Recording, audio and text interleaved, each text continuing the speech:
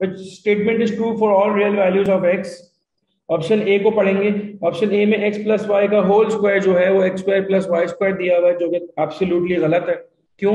क्योंकि जब a plus B का होल स्क्वायर हम खोलते हैं तो वो a square plus two a b plus b square आता है। X square plus x square is equals to x की पावर फोर ये भी सरासर गलत है। इसकी वजह ये है, इसका जवाब होगा टू एक्स स्क्वायर अच्छा मैं काम भी कर देता हूँ, मैं इसके करेक्ट आंसर भी लिख देता हूँ।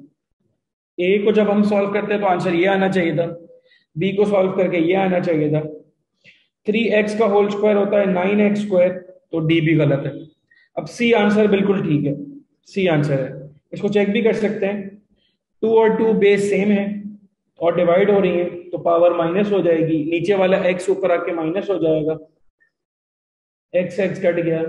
टू का स्क्वायर फोर होता है। बिल्कुल होता है। सी आंसर है।